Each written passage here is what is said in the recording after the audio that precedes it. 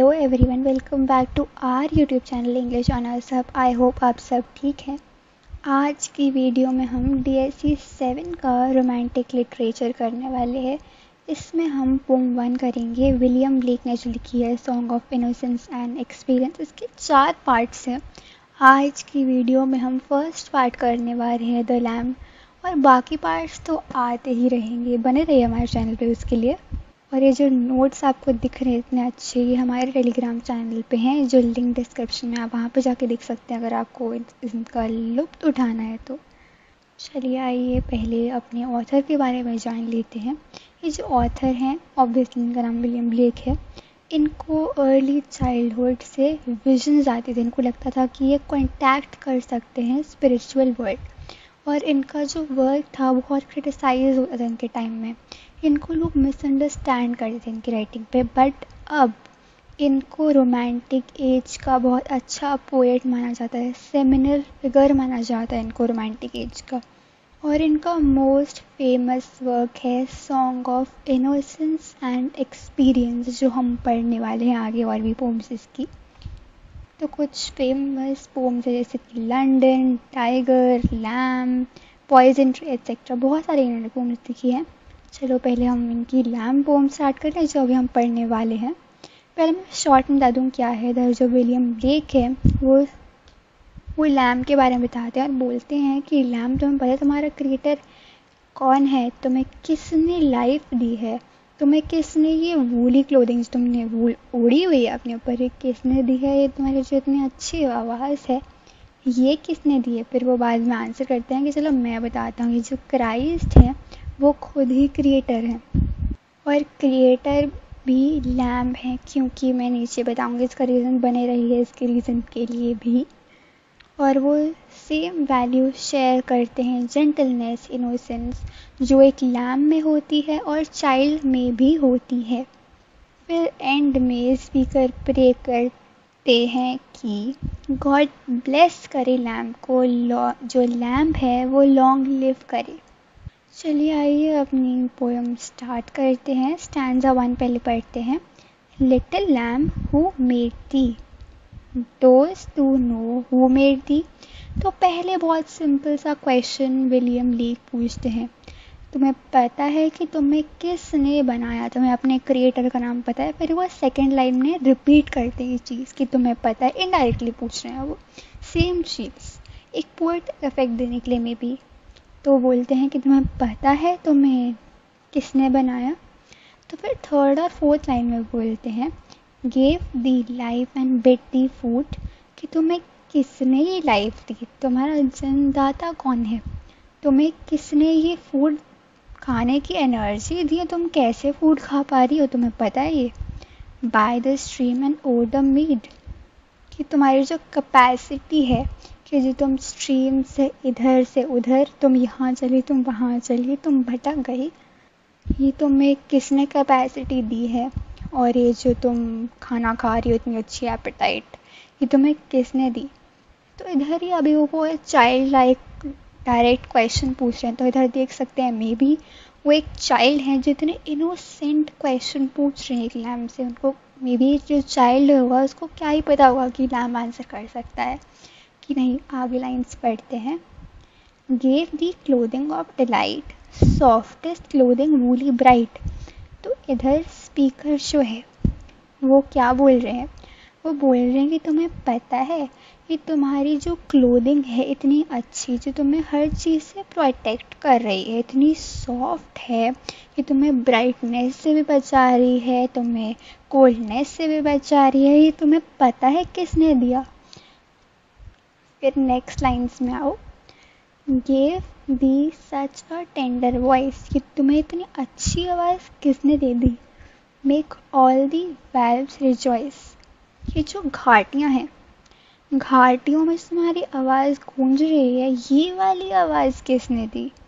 Little lamb who thee dost thou know who thee same line repeat कर तुम्हें पता है तुम्हें किसने बनाया? तुम्हें किसने आखिर बना दिया?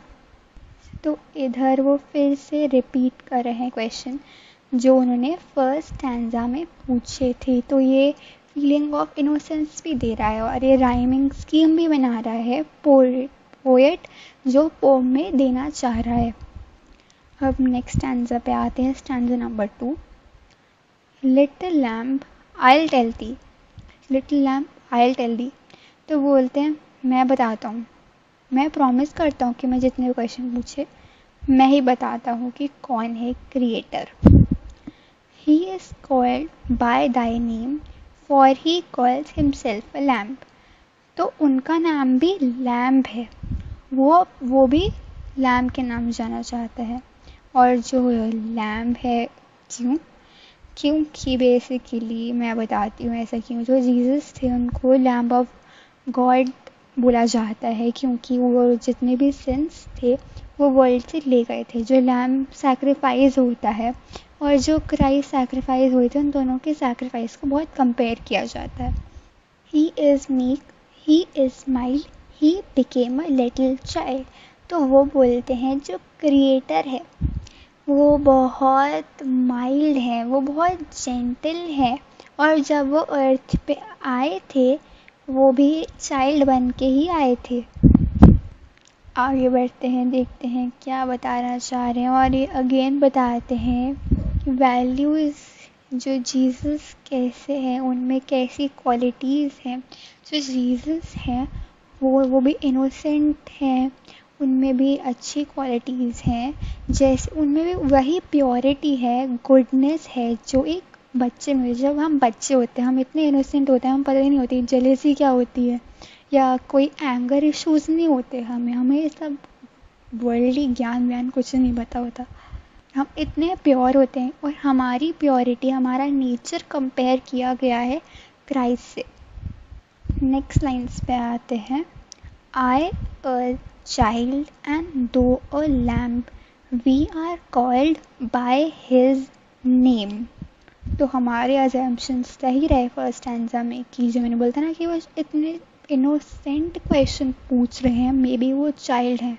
तो बोल रहे हैं, वो भी चाइल्ड हैं और लैम्प भी ऑब्वियसली चाइल्ड है। तो वो बोलते हैं कि उन दोनों के कैरेक्टर्स उन दोनों नेचर है, वो आइडेंटिफाइबल है गॉड से।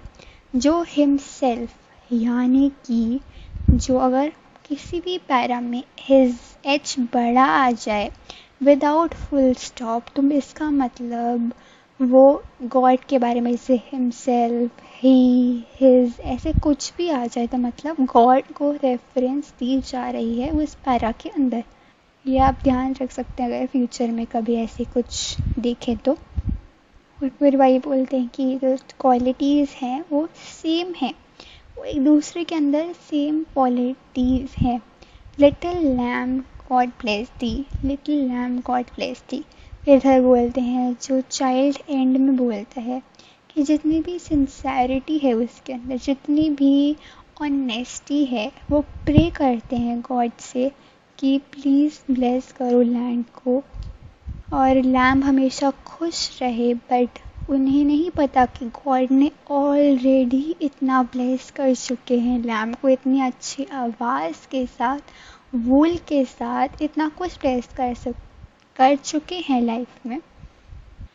तो आ जाओ अब थीम्स देख लेते हैं। इसकी थीम्स क्या हैं? दो थीम्स मेनली हमें दिखी हैं इसके अंदर। हाईलाइटेड थीम्स हैं इसके अंदर। पहली है गॉड एंड क्रिएशन नेक्स्ट है चाइल्डहुड एंड इनोसेंस तो गॉड और उनका क्रिएशन दिखाया गया है। गॉड का क्रिएशन क्या है? हम सब और इसमें क्या डिस्क्राइब्ड है? बेसिकली लैंड और गॉड का जो क्रिएशन है, वो और भी गिफ्ट है, जैसे कि वॉइस वॉइस जिस, जो घाटियों में गूंज रही है, जो उन्होंने कैपेसिटी दी है फ़ीड करने की, जिससे वो बड़ी हो सके, जो लैम्प है, ये सब जो एटमोसफेयर है, हम ये सब इसमें हाईलाइट किया गया है, जो मेनली क्या है? गॉड सबका क्रिएटर है। और ये हाफ़ फ़र्स्ट हाफ़ में यही चीज़ है कि क्रिएटर कौन है? एक क्रिएटर बेस्ड है। मेन क्वेश्चन क्या था पोएट का कि क्रिएटर कौन है हमारा लैम्स यही मेन क्वेश्चन था तो यही मेन थीम भी रहेगी। God and his creation next आता है चाइल्डहुड एंड इनोसेंस जो लैम्ब है, वो एक चाइल्ड है। जो चाइल्ड होता है, बचपन में मीक और माइल्ड रहता है, उसमें इतनी प्योरिटी रहती है, बचपन से ही उसके अंदर अफेक्शन रहती है, वो किसी से जेलस नहीं रहता, वो एंगर इश्यूज़ के साथ नहीं रहता, उसमें ये सब फीलिंग्स नहीं जब हम बड़े होते हैं, हमें ये सब आ जाता है, ये सब इश्यूज़ बट अगर हम ये सब भुला दें तो हमारी लाइफ सॉर्टेड रहेगी ऑब्वियसली और वो ये सब कंपेयर करते हैं क्वालिटीज़ क्राइस्ट के साथ। वो भी ऐसे हैं, वो भी प्योर है इनोसेंट हैं और बोलते हैं ये सारी जो क्वालिटीज़ हैं, ये सब कॉमन है गॉड में और एक बच्चे और एक लैम में। तो ये एक दूसरा सिंबल हो गया इनोसेंस और जॉय जब तक हमारी लाइफ में इनोसेंस रहेगी, तब तक हम चाइल्डहुड इन्जॉय कर पाएँगे। जैसी इनोसेंस वो चली गई, हमारा चाइल्डहुड भी चला गया उस टाइम पे। इधर ये सिग्निफाई करते हैं हमारे पोएट विलियम ब्लेक जैसे कि आपने इन फ़र्स्ट लाइन में देखा होगा, दीदी feed mead delight bright voice rejoice दीदी, ये सब क्या? ये एक हमें सॉन्ग जैसा नहीं लग रहा? ये एक सॉन्ग वाइब दे रहे हैं। ये सब हम देख सकते हैं इन पैरास के थ्रू इन पैसेजेस के थ्रू ये जो दीदी नेम लैम माइल्ड चाइल्ड ये सब एक राइम स्कीम बना रहे हैं। और आई होप आपको यहाँ तक समझ में आया और देख लिया वीडियो तो सब्सक्राइब करते हुए जाना, ठीक है? और लाइक शेयर कमेंट सब्सक्राइब भी करना है आपको, बस। और थैंक्स फॉर वॉचिंग अगर कुछ भी समझ नहीं आप कमेंट सेक्शन में बता सकते हैं। And thanks for watching bye bye खत्म। Bye bye tata goodbye